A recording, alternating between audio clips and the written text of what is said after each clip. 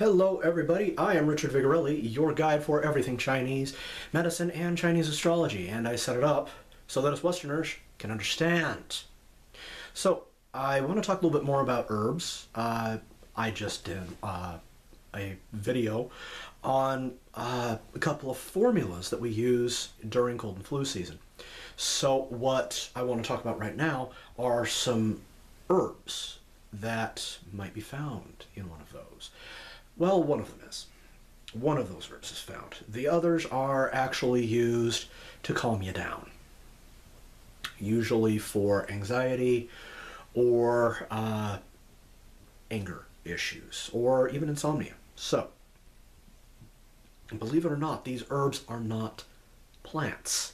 They're actually rocks and quite naturally occurring. Well, one of them is technically a fossil, and two of the others are created by animals, but we only take them from the dead ones that we didn't kill. Okay, I'll get to that in a minute. So, I bet you only thought that herbs were plants. Well, according to Chinese medicine, uh, an herb is any animal, vegetable, or mineral, or just any substance that has medicinal and or curative properties, assuming you use it for the right condition in the right amount. One of the things that I want to make very, very clear is any substance that has any kind of medicinal or nutritive quality to it can become a poison when you use too much of it. So, Americans especially need to get rid of the idea that some is good, more must be better. That is stupid and ridiculous, especially when you're dealing with medicine. Okay? So, onto those rocks. Okay, the first one is in uh, what's called Baihu Tong, which I talked about in my last video.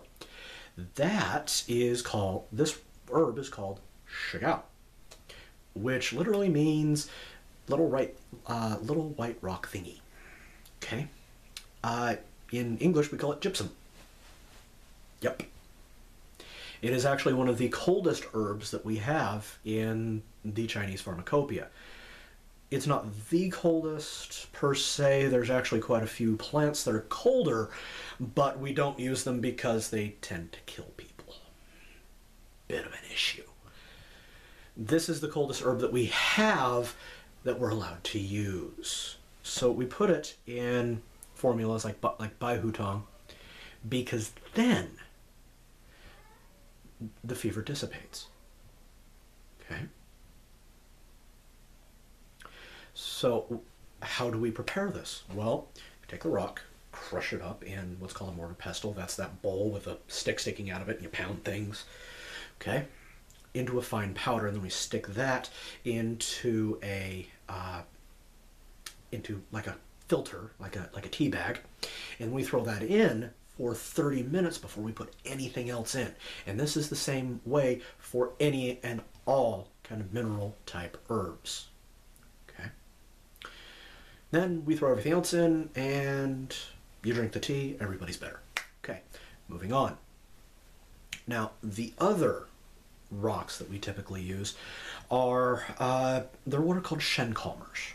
Okay, Shen calming means to kind of set a person right back back to normal. If they're really excited and nervous and angry and all this, then we calm them down. If they're kind of uh, a little blitzed out, that's still a Shen disturbance. So we need to liven them up. So we add different things into the formula. Okay? So let's talk about the herbs that actually calm you down and bring you? The reason why they're rocks. Rocks are heavy. So they're going to grab this thing and it. Okay. First one I want to talk about is called Long.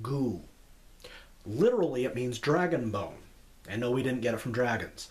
They are actually the fossilized toe bones and uh, vertebrae of extinct Ice Age mammals. So when you go to the Chinese herb store, you might be uh, getting in your formula a little bit of grind up woolly mammoth or three-toed sloth or I don't know, something else. Okay? Been in the ground for a very, very long time. That makes it very cold. It also makes it very heavy, very calming. So again, we grind it up and put it in a bag for 30 minutes and boiling, etc. Okay? This helps bring down the mind, helps calm you down, and it also helps prevent you some, from sweating. Now it's got a best friend. This one is called Mu Li. This is actually oyster shells. Yeah, oyster shells, believe it or not. I know if you're kosher you're probably not going to want this one, but it is fantastic at calming you down and keeping you from sweating. So let's say you are nervous and you're sweaty and you're just all upset. Well, I'm going to give you a formula with Long Gu and Mu Li in it to calm you down and get that sweat back inside your body so you're not eliminating your fluid. Okay? Next herb. We have, this one is called Ci Shi. That is spelled C-I space S-H-I, also known as magnetite. Believe it or not. Fantastic for calming people down. However, if you got if you have iron-rich blood like I do, you don't want to use this one. It'll make you a little wacko. Personal story. Okay. Uh, next one we have is called Dai Zhi Shi, uh, otherwise known as hematite. Okay. Fantastic little stone. Cools the blood, helps calm you down. You use too much of it though, and you'll get a lovely toxic effect. Yeah, it'll definitely calm you down. Uh, might cause a few issues. Okay. So, those, uh, oh, one more herb that I want to talk about. I think you'll like this one. It's called Zhenzhumu also very calming and it's fantastic for coating the back of your throat. When you got like a burned throat from talking too much you're starting to sound like a like uh like somebody who's been smoking for 40 years. Yeah. What they do is they is they grind up is they grind up Zhenzhumu. By the way this is mother of pearl. Grind it up and put it in a straw and they go on the back of your throat goes like that calms you right down calms down the throat everybody's happy.